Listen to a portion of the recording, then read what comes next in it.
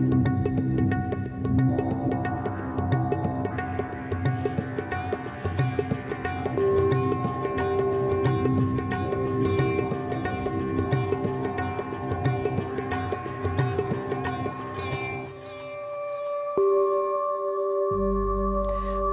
tous et merci de votre fidélité.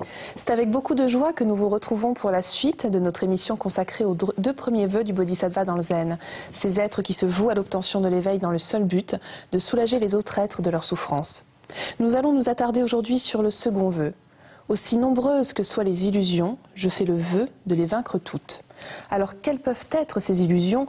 Comment nous en libérer? Et dans quel but? C'est ce que nous allons voir tout de suite avec notre invité Roland Reich. Roland Reich, bonjour. Bonjour. Alors je rappelle que vous êtes un disciple de Maître Deshimaru, que vous êtes vous-même moine zen et vous enseignez depuis une trentaine d'années à la fois au dojo de, zen de Nice, pardon, mais également au temple zen de la Gendronnière. Merci beaucoup d'être avec nous aujourd'hui. Alors euh, Roland Reich, pour commencer, est-ce que vous pouvez nous rappeler quelle est l'importance des vœux du Bodhisattva dans le zen? Euh, Oui, c'est l'expression du, sens de la vie euh, lorsque l'on a ancré son existence dans la pratique de la voie du Bouddha. Euh, les vœux sont des vœux de, euh, de, compassion, des vœux de résoudre les causes de la souffrance, les vœux d'acquérir tous les enseignements et ensuite de réaliser l'éveil. tous ces vœux manifestent vraiment le sens de notre pratique de la voie du bouddhisme. Mhm. Alors revenons sur le second vœu. Oui. Quel est-il? Alors donc c'est aussi nombreuses que soient les, causes de souffrance, les bonos, c'est-à-dire les attachements, les illusions, les différentes traductions possibles. Je fais le vœu de les résoudre euh, toutes ou tous suivant, suivant le cas. Donc on pourrait dire que c'est la base euh, même de l'enseignement du Bouddha. Hein, c'est la base de l'enseignement du Bouddha. C'est-à-dire, par exemple, le Bouddha disait naissance, maladie, vieillesse, et mort sont souffrance. Mais en réalité, c'est pas la naissance, la maladie, la vieillesse et la mort qui sont souffrance. C'est le fait que euh, par la naissance, euh, on se trouve séparé et coupé de notre unité avec le cosmos. Et donc, voilà, ce ne sont pas les faits objectifs.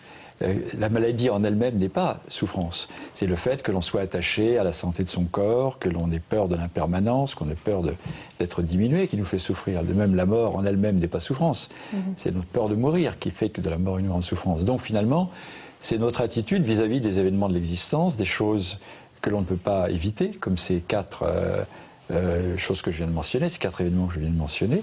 Et finalement, c'est plutôt le fait que nous sommes euh, aux prises avec nos désirs, avec nos aversions, que l'on ne peut pas obtenir ce que l'on désire ou le garder en tous les cas, que l'on ne peut pas éviter ce qui nous déplaît. Et bref, tout ce qui nous constitue est l'occasion de souffrir de par les réactions que dans lesquelles ça nous entraîne face aux événements de la vie. D'accord. Alors, on dénombre plus d'une centaine de bonos, d'illusions.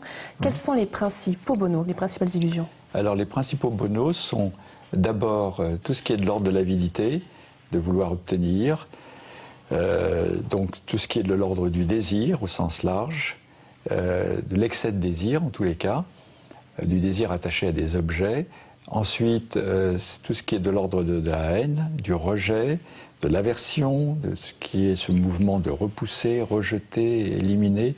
Ça peut aller jusqu'à vouloir tuer, vouloir faire disparaître ce qui nous dérange. Euh, ensuite, c'est l'ignorance. Alors là, je dirais que l'ignorance, moi je l'aurais même mis en premier, généralement on cite en troisième. Mais l'ignorance, c'est la méconnaissance de soi, c'est vivre dans la confusion, c'est ne pas être capable de discerner euh, clairement euh, ce qui est important dans notre vie, le sens de notre existence, la réalité même de notre vie. Et donc c'est ça qui nous fait vivre dans l'illusion. Alors ensuite, il y a euh, d'autres formes de bono, telles que la susceptibilité, le doute.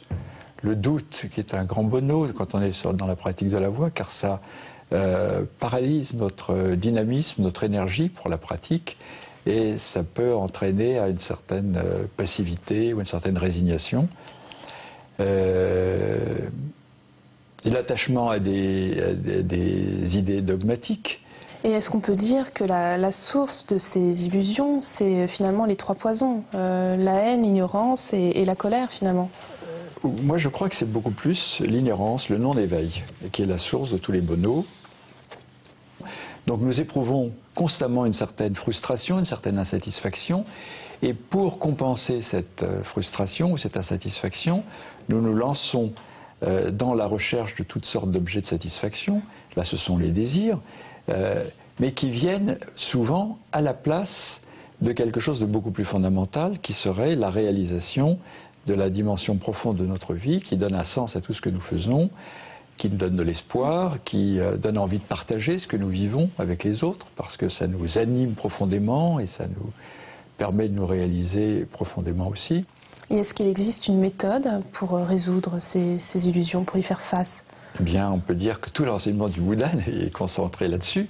Alors, euh, mais je crois que la principale méthode, c'est la pratique de la méditation, c'est tourner son regard vers l'intérieur, devenir intime avec soi-même, apprendre à se connaître aux deux niveaux que sont les phénomènes qui, nous, qui animent notre esprit, nos désirs, nos, nos motivations, mais surtout apprendre à nous connaître à un niveau plus profond, c'est-à-dire comprendre que tout ce qui nous constitue est sans substance. Tout ce qui mm. constitue ce soi-disant ego n'a pas de substance propre, n'est que relation d'interdépendance avec tous les êtres de l'univers.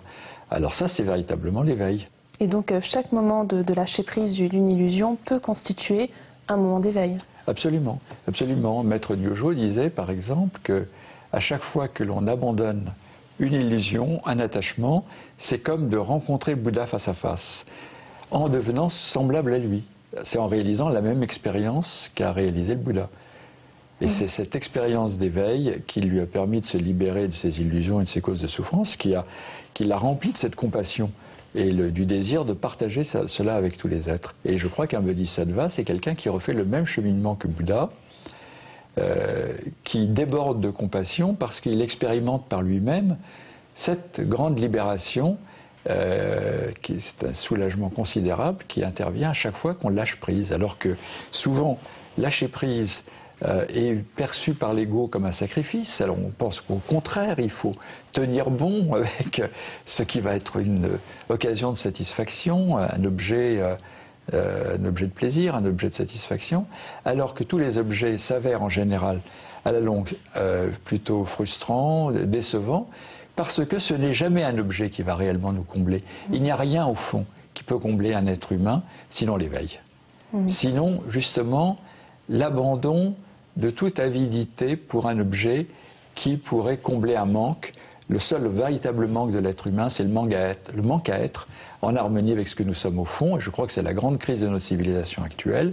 C'est l'état d'ignorance et d'illusion dans lequel la plupart des gens vivent dans notre société et, euh, qui fait que on, se lance dans la poursuite de toutes sortes d'objets de désir, que lorsque ces objets de désir nous échappent, eh bien, c'est la colère, c'est la, haine, c'est la frustration, avec l'agressivité, la violence qui en résulte.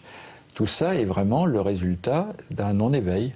Et, moi, c'est la raison pour laquelle je suis venu au Zen. Au départ, je croyais à la libération possible des êtres humains à travers une action sociale, politique.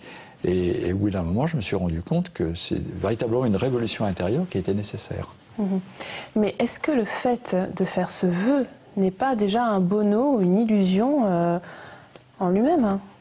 Alors, il peut le devenir s'il est associé à, un désir égoïste de jouir d'un bien-être personnel pour soi-même, ou bien s'il est associé à la peur, euh, à la peur de la souffrance, à la peur de, rester dans le cycle du samsara alors que l'on s'est construit une idée d'un nirvana comme le bien suprême que l'on veut obtenir et qui développe une sorte d'avidité spirituelle. Euh, effectivement, vouloir trancher les bonos, peut être la manifestation de l'ego qui vit encore dans la dualité et qui oppose illusion et satori. Alors le, véritable éveil profond est de comprendre que les bonos sont en réalité vacuité, que moi qui suis le sujet de ces bonos, de ces attachements, n'ai pas non plus de substance propre, que ma seule réalité, c'est d'exister ensemble avec les autres, que c'est ça la réalité.